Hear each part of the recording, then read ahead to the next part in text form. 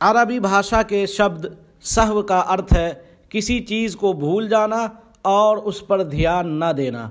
सजद सहव से अभिप्राय वो दो सजदे हैं जो नमाज़ के अंत में अथवा नमाज़ के बाद किसी त्रुटि को पूर्ण करने अथवा नमाज़ के वाजिबात में से किसी वाजिब को छोड़ देने के कारण किए जाते हैं।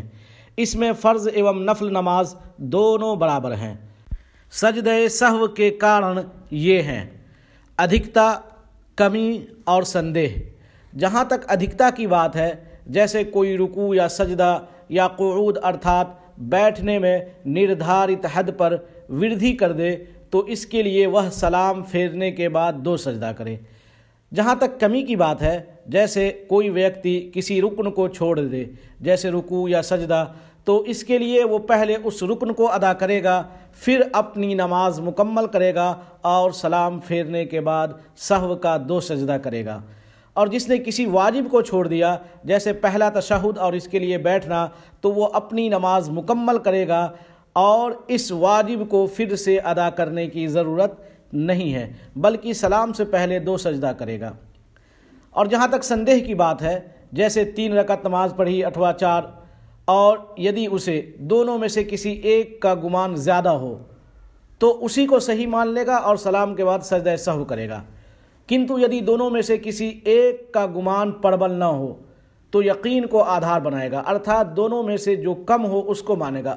उदाहरण स्वरूप, यदि तीन और चार में संदेह हो जाए तो तीन मानेगा और चौथी रकत पढ़ने के बाद सलाम फेरने के पूर्व दो सजदा करेगा।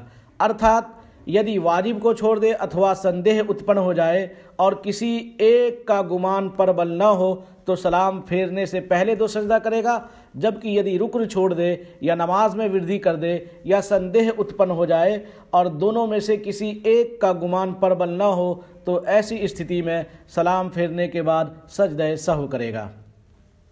सजद सहव को सलाम फेरने के पहले या बाद में दोनों प्रकार से अदा करना जायज़ है।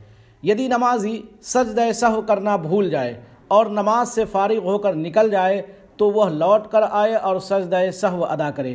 किंतु यदि अवधि लंबी हो जाए या वज़ू टूट जाए तो सजद सहव उससे माफ़ हो जाएगा। इमाम यदि नमाज़ में भूल जाने के कारण सजद सहव करे तो उसके पीछे नमाज़ पढ़ने वालों को भी उनका अनुकरण करते हुए सजद सहव करना होगा। चाहे उसके साथ इमाम को भूल हुई हो अथवा अकेले इमाम से भूल चूक हुई हो।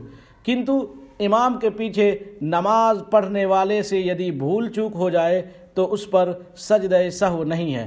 हाँ यदि उसकी कुछ नमाज़ इमाम के साथ छूट गई हो और उससे भूल चूक हो जाए तो अपनी छूटी हुई नमाज़ पूर्ण करने के बाद वो सजद सहव करेगा।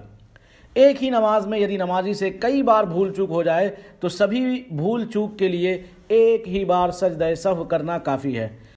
अबू हुरैरा रज़ी अल्लाह से वर्णित है कि अल्लाह के रसूल सल्लल्लाहु अलैहि वसल्लम ने फरमाया, तुम में से कोई व्यक्ति जब नमाज़ पढ़ने के लिए खड़ा होता है तो शैतान उसके पास आकर उसे उलझा देता है, ताकि उसे पता न चले कि उसने कितनी नमाज़ पढ़ी है। यदि तुम में से किसी के साथ ऐसा हो तो वह बैठे हुए दो सजदा कर ले।